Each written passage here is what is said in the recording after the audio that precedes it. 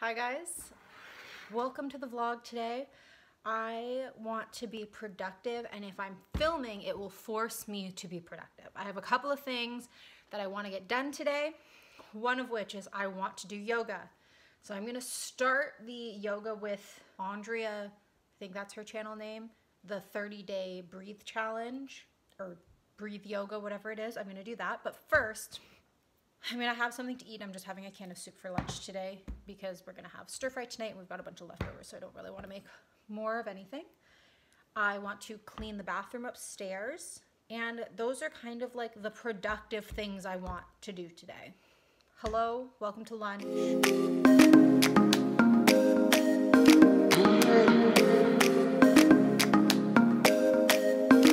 All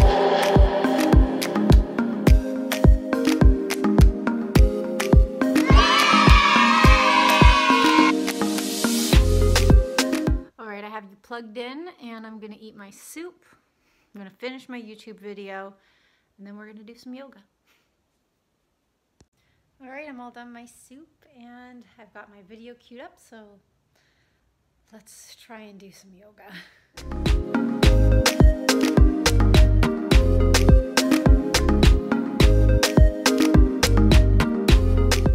All right, I'm done my yoga. I actually feel so good. I feel relaxed. I'm honestly super tired. I could almost have a nap, but I want to go to bed early tonight because I'm trying to get up earlier. I'm trying to make myself like a eight o'clock riser when I'm not working, considering when I'm working I have to get up anywhere from three to 6 a.m. So I feel like 8 o'clock's nice. It still makes me feel like I'm sleeping in. I'm trying to keep on that schedule, so I want to get to bed early tonight and I'm just not going to take a nap. I'm now drinking an entire tumbler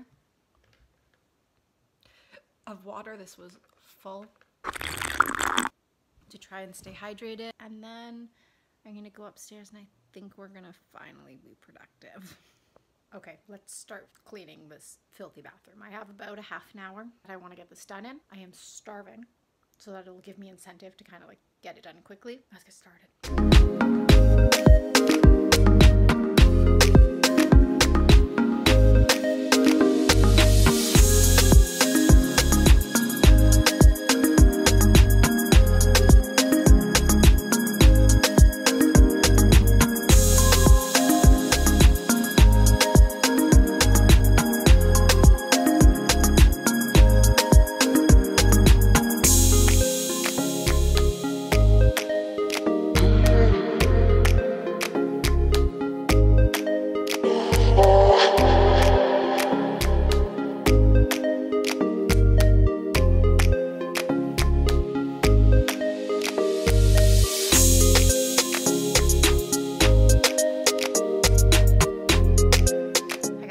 It's like a solid week later, but I've done yoga twice, which is a lot for me.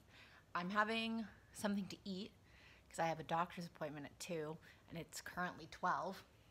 So I'm going to eat something, go get ready for the doctor's appointment because I wait for it, have a pap smear today. Yeah. I am actually in a super productive mood. We'll see how I feel after the appointment. I think I'm gonna have like a productive cleaning day, which I know is technically what I did last time because I cleaned the upstairs bathroom, but like that was a whole thing that needed to be cleaned. And this is like I'm I'm cleaning my downstairs because we made dinner last night and we're too lazy to uh, clean up. So, all right, I'm about to jump in the shower again. Don't mind her. We're gonna fix her up, but I figured I would show you my outfit, which is kind of weird, but it's such an awkward thing to have to go and like do, especially after not seeing my doctor for almost an entire year because of everything that's going on. Like, I'm obviously not going to go in if it's not absolutely necessary, and I am overdue for this appointment. But I just want to be comfortable. Obviously, when you go in, they're gonna give you like the the scrubs that you change into, but I just have what I want to feel comfortable going in and then leaving after all of it. So I just have a sports bra. I've got a hoodie and then I've got a pair of sweatpants. Hey guys, it's way, way later now. Fit is still on.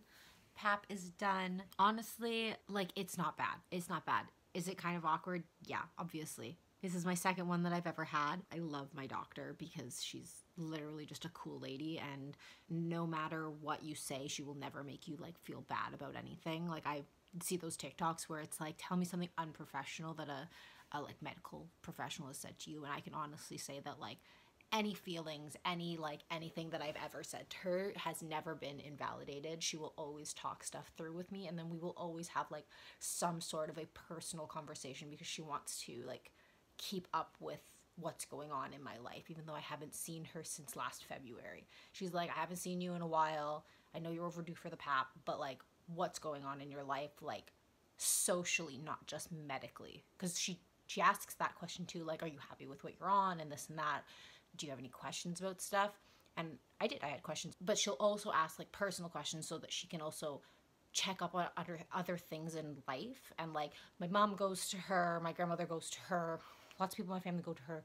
Obviously, there's the confidentiality of like each appointment, and she would never break that confidentiality. Like, it's just nice that I can have that open dialogue, and like, even though something super invasive is happening to me, I can have a conversation with her that makes me feel like I'm talking to just like a friend or someone that like I'm comfortable with because it is such an awkward experience. Like this time around, we talked about the vacations that were canceled because I'm in the travel industry and she was like oh i'm so sorry like are you laid off? And i'm like no and like it was just a really good chat. I think it's important i think that if you have really awful horrible stories like change your doctor.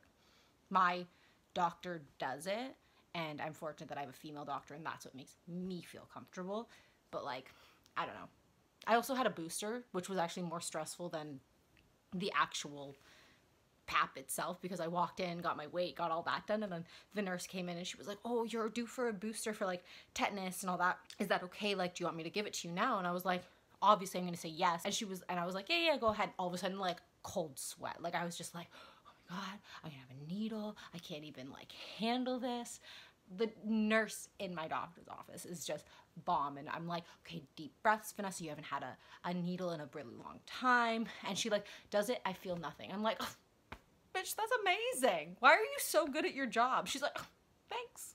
Great experience. Loved the fit. Everyone complimented it. She was like, that's what I want to be wearing right now. It was like, I was like, girl, this outfit was by design.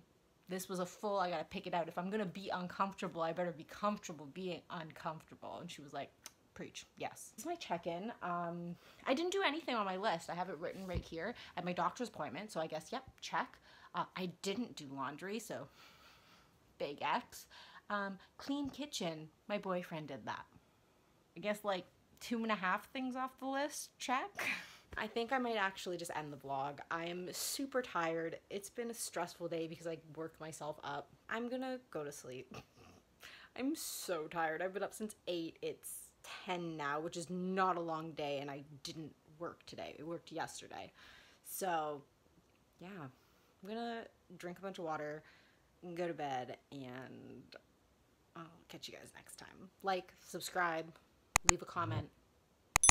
What do you do for your PAP if you know what a PAP is? Bye.